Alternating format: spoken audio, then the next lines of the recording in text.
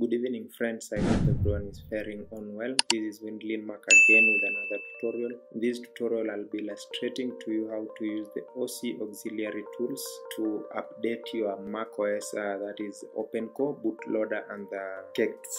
So I'll be using the OC auxiliary tools to do this task. The OC auxiliary tool is this tool here, OC auxiliary tools. If you don't know where to get this application, just check in the description. I'll provide a link to download it. First things first i'll mount my efi open volume and efi oc folder. Then open your config.plist file with OCAT. Mine is uh, the default application, so I'll just double click. Here you see OCAT is open, so I'll just go to the this option here, this option, upgrade OpenCore and kexts. So this option will allow me to upgrade OpenCore and my kexts. So just click on it. Here it is. Let me drag it in. So I'll, I'll go full screen so that you can see clearly. So any application that is red, if you see the red icon, that means there is an update available. Any kext or any driver. On the right, the open core, you can see are my drivers. Any driver that has red and any kext that has red, that is the red symbol, means it has an update. For example, let me show you. You see uh, the first kext, that is the Lilu kext. The current version is 1.6.8, but the installed one or the available one in my machine is 1.6.2. The same with VirtualSMC kext. Uh, the current one is 1.3.3, but in my machine I have 1.3.0. So all the kexts that are red are the ones that are to be updated. So uh, the process here is quite simple. First of all, we need to ensure we are running the latest version of OpenCore. Just go to the right section, then right click and choose latest version. Here choose latest version. Then click the get latest version of OpenCore. Then it will download.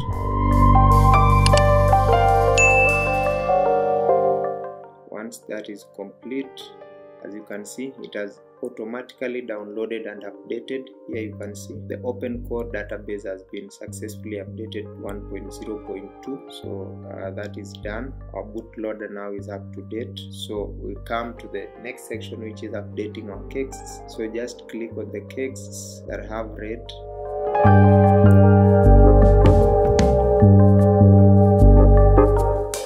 just four kexts then all the drivers here. Now once you've clicked uh, all the kexts that have the red uh, icons. As i told you those are the ones that have updates available. Just for confirmation purposes you can also click check kexts for updates just so that you are sure that you've not missed. It will run the database to check if there are any other kexts that needs to be updated. As you can see there are other kexts that have been found. So uh, we need to check all those that have been found. So just uh, check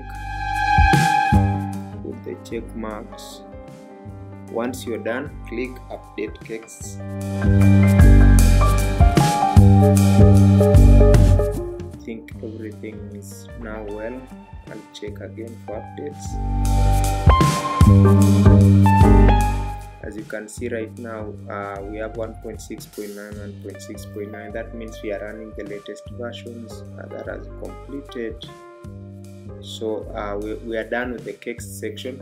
That is why i told you guys it is a very simple process. So just by checking the ones that had red and uh, clicking the update kexts it has updated all the kexts once you're done with that you'll come to this section and click start sync to sync all the changes you've made you see it has successfully synced to OpenCore 1.0.2 now click OK then click save this version of OC validate is only compatible with version 1.1.2 that is what we have just updated to. So right now as you can see if we go back to this section that is the upgrade kexts and OpenCore if we go back here as you can see all the drivers are now updated. They're all green. They were red before but they are now green. You can also check this other section if you want again to confirm just click check uh, for updates. It will run the database again. See it's still running. It has completed running. You can see all these uh, check boxes are green. So that means everything is uh, up to date. You can also see our drivers all of them are up to date. So i'll just close.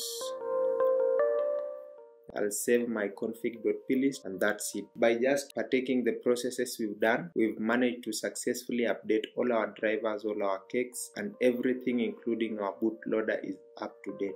I'll just quit OC auxiliary tools. So we have successfully managed to update our kexts from uh, the older versions to the latest versions using OCAT. It is so simple. So that was a simple tutorial guys on how to update your kexts and your drivers that is the OpenCore drivers from the available versions to the current versions. So I hope you enjoyed this video. It is very direct. It is not like open OpenCore configurator whereby you have to download the OpenCore bootloader then you start replacing the files. The OC auxiliary tools does this by itself and it is a very helpful utility that aids us quickly update our kexts and our bootloader and our drivers. So I hope you guys enjoyed this video. Uh, it was just a quick one to show you guys how I quickly update my kexts and to ensure everything is up to date. So thank you so much guys for watching. I'll catch you guys in the next one. Remember to stay safe. Signing out.